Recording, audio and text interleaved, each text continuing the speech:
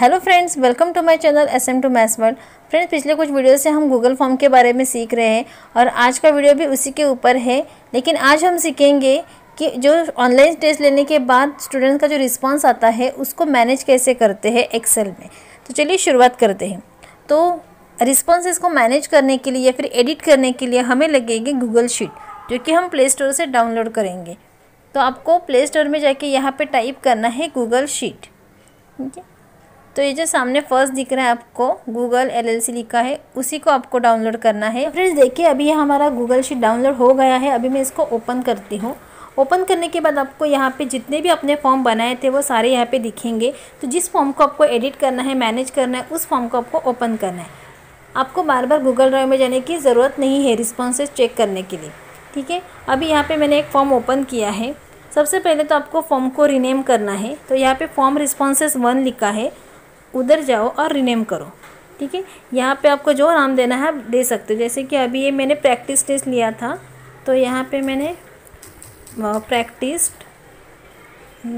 Test one ऐसे नाम देते हुए। ठीक है? ओके क्योंकि किसी बहुत सारे क्लासेस होते हैं टीचर्स के पास तो कन्फ्यूज़न होता है। इसीलिए कभी भी पहले रीनेम करो फ़ाइल को। ठीक है? अभी हम सीखते हैं फॉर्मेटिंग फॉर्मेटिंग कैसे करते देखो। सपोज़ आपको ये जो नेम है, वो रेड कलर में चाहिए। तो आपको क्या करना है? सबसे पहले सिलेक्ट करना है। ठीक है? ये ऐसे देखो। उसको मैंने पहले सिलेक्ट कर लिया। क्या कर रही हूँ मैं? वो जो डॉट था, उसको पकड़ के आपको क्या करना है? नीचे की तरफ़ ड्रैग करना है। अभी इसको हमें कलर करना है। पहले बोल्ड कलर है। बी लिखा है मतलब बोल्ड आपको सिर्फ़ वर्ड को कलर करना है तो आप यहाँ से कलर ले सकते जैसे कि अभी मैंने रेड कलर ले लिया। ठीक है? आपको कुछ बैकग्राउंड कलर देना है। तो यहाँ पे देखो फील कलर का ऑप्शन है। जो बकेट जैसे दिख रहा है आपको। ये। आप वहाँ पे एक बार चेक करोगे तो आपको समझ में आएगा। ठीक है? यहाँ से सपोज़ मैं ये कलर लेती हूँ। ये कलर लेती हूँ। ठीक है? बस आपको ये दिखाने के लिए ले रही हूँ। अभी इसमें किसमें भी देखो आउटलाइन नहीं है बॉर्डर नहीं है। तो अभी आपको इसको बॉर्डर लगानी देनी है। ठीक है? तो देखो, अभी मैंने ऊपर की तरफ़ क्लिक किया तो ये सारा सिलेक्ट हो गया। ठीक है? तो यहाँ से जो बॉक्स था, उसके ऊपर आपको क्लिक करना है। तो सारे को क्या आ जाएगी? बॉर्डर आ जाएगी। ठीक है? आप इसको जूम इन जूम आउट करके देखोगे तो आपको दिखेगा। ये देखिए मैंने क्या किया है पूरा ये? अभी छोटा दिखेगा। इसको आप थोड़ा सा जूम आउट करोगे तो ये आपको हैंड राइटिंग बड़ी दिखेगी। ठीक है? उसी तरह तरह लिखा है ऊपर। ये क्या होता है आपका? कॉलम होता है। तो उसको आप एक्सटेंड ऐसे कर सकते देखो, उसको पकड़ के राइट की तरफ़ उसको खींचना है। तो क्या हो गया? जो कॉलम है वो बड़ा हो गया। ये डिवीज़न के लिए आपको इतना बड़ा कॉलम नहीं चाहिए तो आप उसको क्या कर सकते हो? पकड़ के उसको अंदर की तरफ़ खींच सकते हो। ठीक है, ये देखिए। इस प्रकार से आपको उसको अंदर की तरफ़ आप उसको खींच सकते हो। समझ में आ रहा है आपको? अभी नेक्स्ट ये हो गया फॉर्मेटिंग हाँ और आपको फॉन्ट साइज़ अगर इंक्रीज़ करनी है, पहले सब इसको हमें सेंटर में लेना है। चलिए मैं फिर से इसको सिलेक्ट कर देती हूँ। ये देखो मैंने सिलेक्ट कर लिया। अभी जो ये नेम से उसको आपको सेंटर में लेना है तो अब यहाँ से सेंटर का ऑप्शन चूज़ कर सकते हो। तो देखो, ये सारे नेम क्या हो गए? सेंटर में आ गए। ओके उसके बाद अभी यहाँ पे आप थ्री डॉट पे क्लिक करोगे। सपोज़ आपको कोई एक नाम सिलेक्ट करना है फाइंड करना है नहीं मिल रहा है। बहुत सारा डेटा है तो कभी कभी नेम हमें मिलता नहीं है। तो आपको यहाँ पे क्या करना है? टाइप करना है फाइन में। सपोज़ तनु का नाम सिलेक्ट करना है तो तनु यहाँ पे मैंने टाइप किया। तो ये देखो, ये हाईलाइट हो गया सिलेक्ट हो गया। वही जो सेल है, वो सिलेक्ट हो गई, ठीक है? तो ऐसे आप क्या कर सकते हो? चेक भी कर सकते हो फाइन कर सकते हो। सिमिलरली यहाँ पे मैं टिक करती हूँ। हाँ फिर से देखो, आपको जो भी चेंजेस करने हैं, जो ऑप्शन चाहिए, जब तक आप सिलेक्ट नहीं करोगे, तब तक ऑप्शन आपको दिखाई नहीं देंगे, ठीक है? अभी मेन तो इसमें होता है फ़िल्टर लगाना। फ़िल्टर क्यों लगाते हैं? अभी देखो यहाँ पे ए बी दो डिवीज़न के स्टूडेंट्स हैं। तो आपको फ़िल्टर करना पड़ेगा। तो यहाँ पे जो डिवीज़न लिखा है, मैंने उसके ऊपर क्लिक किया। फिर से थ्री डॉट के ऊपर जाऊँगी मैं। ठीक है? और यहाँ पर क्रिएट फ़िल्टर ठीक है?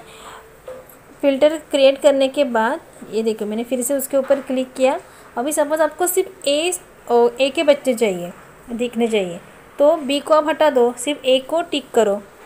है, और यहाँ से जो पे शॉर्ट एंड फ़िल्टर लिखा है, वहाँ से मैंने क्लोज़ कर दिया। अभी यहाँ पे देखो सारे ए स्टैंडर्ड के ही बच्चे आ गए, ठीक है?